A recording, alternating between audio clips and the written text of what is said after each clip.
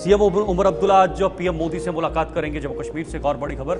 दिल्ली में आज मुख्यमंत्री की मुलाकात होनी है और ये मुलाकात पहले से ही तय मानी जा रही थी राज्य के दर्जे की बहाली को लेकर यह मुलाकात होना संभव है और बीती रात गृह मंत्री अमित शाह से भी मुख्यमंत्री की मुलाकात हो चुकी है। अभी अभी जम्मू कश्मीर के अंदर सरकार का गठन हुआ है और ये सरकार लगभग छह सालों के बाद जम्मू कश्मीर वासियों को मिली है और इस सरकार का जो बॉडी लैंग्वेज है, इस सरकार की जो अब रूपरेखा है, वो थोड़ी सी अलग है, क्योंकि जम्मू कश्मीर में परिस्थितियाँ काफ़ी बदली हुई हैं। 2019 में जब धारा 370 को हटाया गया तो यहाँ पर काफ़ी चीज़ें बदली। जम्मू कश्मीर को राज्य से यूटी बना दिया गया, और तमाम जो नियम होते हैं, वो उनको शिफ्ट करना पड़ा। उस वजह से अब यहाँ पर सरकार का अभी तक का जो रूल है, वो उतना कारगर नहीं है, लेकिन जिस तरह से सरकार पहले ही मोमेंट पर जो राज्य के दर्जे को लेकर प्रस्ताव पास हुआ है उससे ये साफ़ है कि सरकार यहाँ पर आज़ादी से काम करना चाहती है अपने पावर्स अपनी शक्तियों के साथ आ, काम करना चाहती है जनता के लिए काम करना चाहती है। इसको लेकर केंद्र सरकार का कितना सहयोग होगा कितना तावन होगा ये देखना दिलचस्प है। फ़िलहाल मुख्यमंत्री उमर अब्दुल्ला दिल्ली के दौरे पर हैं।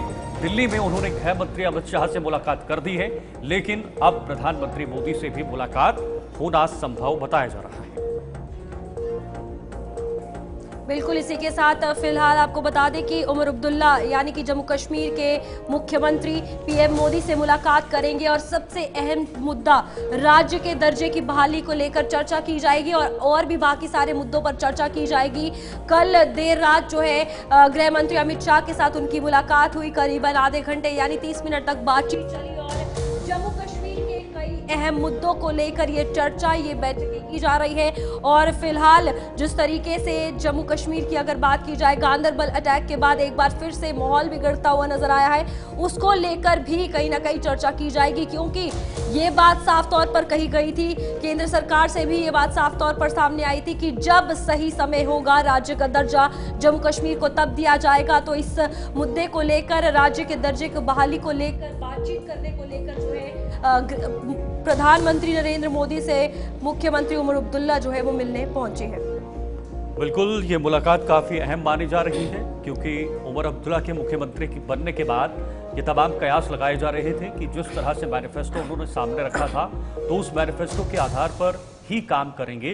तो पहला प्रस्ताव जो है वो राज्य के दर्जे को लेकर पास किया गया। वो प्रस्ताव सामने आया कैबिनेट के ज़रिए, और उसके बाद एलजी की मोहर भी इस प्रस्ताव पर लग गई।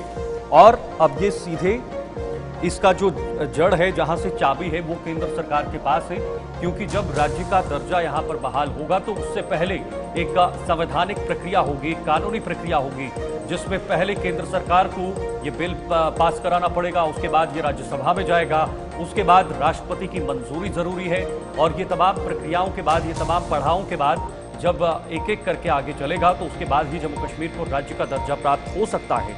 लेकिन उसके लिए ये सब पहले जानना ज़रूरी है कि आखिर केंद्र सरकार का इसमें रुख कितना है?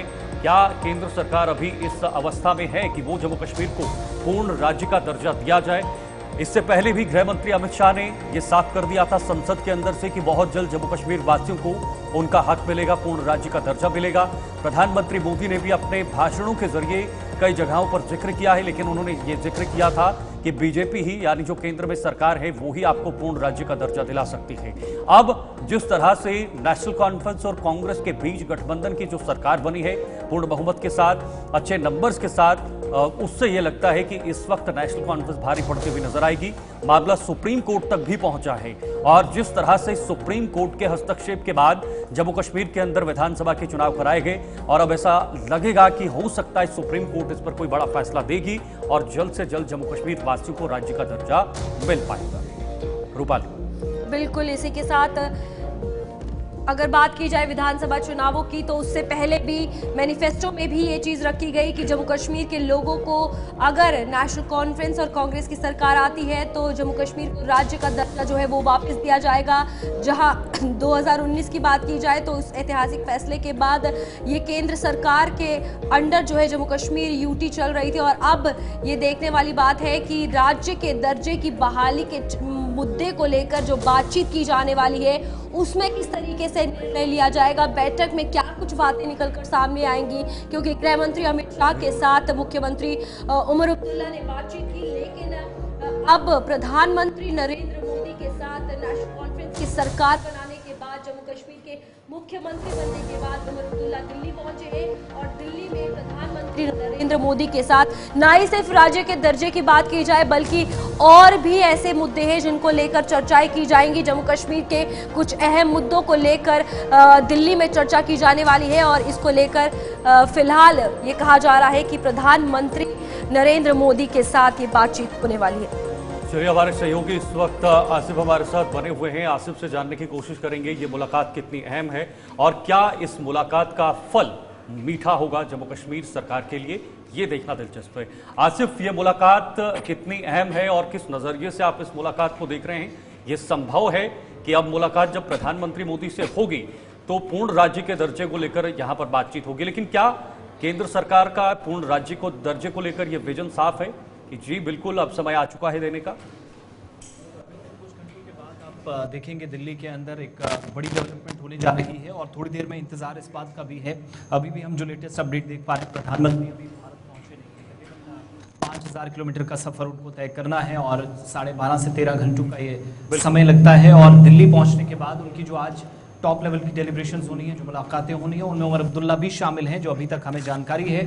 और दोपहर के बाद एक समय तय किया जाएगा जिसकी इन्फॉर्मेशन थोड़ी देर में सामने आ जाएगी। क्योंकि पीएम का सबसे पहला इंतज़ार था जिन भी भी आई से या सेंट्रल लीडरशिप से या सेंट्रल कमांड से मुलाकात उमर अब्दुल्ला को करनी है उनमें इंपॉर्टेंट बात यह है कि एक तो मुलाकात हो चुकी है और दो इनमें इंपॉर्टेंट चीज़ें थी कल की और आज की मुलाकात और बैठकें। चाहे वो 30 मिनट 25 मिनट या 20 मिनट की मुलाकात हुई हो आपको याद होगा शीतल के 25 सत्रह तारीख को अक्टूबर को एक कैबिनेट की बैठक हुई और ये पहली बैठक थी जिसमें एक प्रस्ताव लाया गया।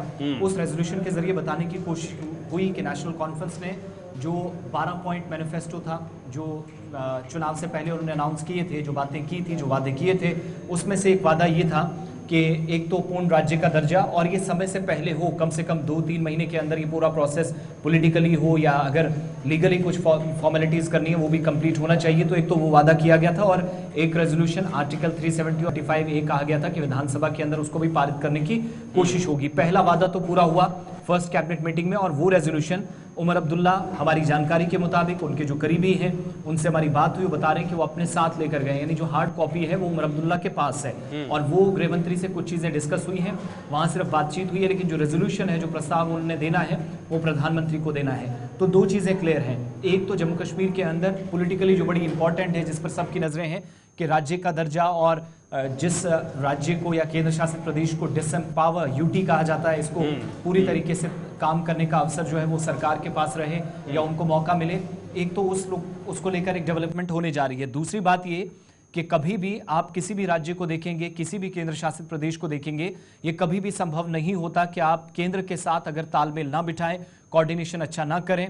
अगर कहीं पर थोड़ी सी भी कहीं खींचातान होती है तो उसका नतीजा होता है किसी भी स्टेट के अंदर चाहे आप बजट्स देखें सरकार के फैसले देखें बड़े आप रेजोल्यूशन देखें प्रस्ताव पारित होंगे लेकिन कोई क्या पॉलिटिकली अभी केंद्र सरकार इस स्थिति में है कि वो जम्मू कश्मीर को पूर्ण राज्य का दर्जा वापस दे? देखिए अगर आप दो महीने पीछे वाले स्टेटमेंट्स की तरफ़ चले जाएँ तो चाहे वो पीएम हो रक्षा मंत्री हो गृह मंत्री हो और जितने भी स्टार कैंपेनर्स बीजेपी की तरफ़ से 40 के आसपास थे और फिर कांग्रेस के लोग भी आए जो वो बात कर रहे थे जो उन्होंने अनाउंसमेंट्स की कि चुनाव के बाद चुनाव के तुरंत बाद उससे पहले एक स्टेटमेंट था चार सालों में जिसको बार बार कहा जाता रहा कि जब हालात जम्मू कश्मीर के अंदर ठीक होंगे सिचुएशन स्टेबलाइज होगी तब राज्य का दर्जा मिलेगा। लेकिन उसी लाइन को चुनाव से ठीक पहले चेंज किया गया और पीएम हो बाकी तमाम लोग हों उनके जितने भी कोलेबरेटर्स यहाँ आए जिस जिसने कैंपेन की कहा कि चुनाव के बाद जम्मू कश्मीर की जनता के साथ वो वादा पूरा किया जाएगा जो गृह मंत्री की तरफ़ से सदन के पटल पर बात कही गई थी। इसका मतलब यह है कि चार साल के अंदर जो लाइन थी और दो महीने पहले जो कुछ कहा गया एक बड़ा चेंज था एक मैसिव उसमें हमने तब्दीली देखी। उस बदलाव का उसका रिज़ल्ट हम ये देख रहे हैं। हो सकता है थोड़ा और समय लगे क्योंकि अभी हमें इंतज़ार इस बात का भी करना होगा। सरकार की तरफ़ से इस पर क्या किया जाएगा? ये जवाब हमें कम से कम दिसंबर और जैन के आसपास मिलेगा। आज अंदाजे लगाना ये शायद आसान होगा मगर आप देखेंगे विंटर सेशन पार्लियामेंट का होगा तो लोकसभा के अंदर ये एक लंबा प्रोसेस है। ये बहुत सारे लोग शायद इसको समझ ना पाए। जिनको लग रहा होगा कि अनाउंसमेंट कर दी गई हो गया। ऐसा नहीं ये रिओर्गेनाइजेशन एक्ट 31 अक्टूबर 2019 के बाद जम्मू कश्मीर में लागू हुआ दो यूटीज बनी। उसके बाद इतने सारे जो संवैधानिक बदलाव हुए उन उनमें से कई ऐसी चीज़ें जो वापस अपने उस ज़ीरो वाले पॉइंट पे जाएँगी। ठीक फिर आप देखेंगे देश की राष्ट्रपति तक बात जाएगी। बिल्कुल। गृह मंत्रालय ने काम करना है बाकी तमाम लोगों ने। तो एक लंबा प्रोसेस है और अभी लोकसभा के उस सत्र का भी इंतज़ार करना होगा। दूसरी बात कि आज जो मुलाकातों की बात हो रही थी उसमें हमारी जानकारी के मुताबिक चार तारीख को जब यहाँ विधानसभा का सत्र शुरू हो क्योंकि ये पाँच सालों के बाद एक ऐसा मौका आया जब यहाँ की सरकार खुद जम्मू कश्मीर का बजट तैयार करेगी। जो अब तक केंद्र शासित प्रदेश का दिल्ली से होता रहा है। उस बजट को बनाने से पहले फाइनेंस मिनिस्ट्री ट्रांसपोर्टेशन की ministry food and civil supplies की मिनिस्ट्री ये वो मंत्रालय हैं जिनके तालमेल और जिनके साथ के बिना जम्मू कश्मीर में सरकार के लिए कोई भी फैसला आसान नहीं हुआ क्योंकि at the end of the day funding funding या जो पैसा लेना है वो सरकार से लेना है। तो इन मंत्रालयों के साथ बेहतर तरीके से कोऑर्डिनेशन हो शायद उसके लिए एक रास्ता भी खोलने की तैयारी होगी। दूसरा इंपॉर्टेंट डेवलपमेंट वो ये होगी कि पीएम के साथ मुलाकात बाद दोपहर होगी लेकिन समय सिर्फ़ निर्धारित होगा और वो कितने बजे का होगा वो शायद थोड़ी देर में क्लियर हो जब पीएम दिल्ली में international Indira Gandhi international airport पर पहुँचेंगे ठीक है। बहुत बहुत शुक्रिया आसिफ हमारे से जुड़ने के लिए और बहुत इंपॉर्टेंट बातें आसिफ ने कही हैं कि लोग इसे आसान ना समझें क्योंकि एक आसान प्रक्रिया नहीं है। एक संवैधानिक प्रक्रिया है लंबी प्रक्रिया है। इसके लिए हमें संसद सत्र का भी इंतज़ार करना होगा। कब सत्र होगा, उसमें प्रक्रिया चलेगी, बिल पेश होगा, उसके बाद आगे ये प्रक्रिया चलेगी, फिर राष्ट्रपति तक ये बात जाएगी और राष्ट्रपति इस पर अंतिम मोहर लगाएगी। ये अभी इंतज़ार हमें करना पड़ेगा।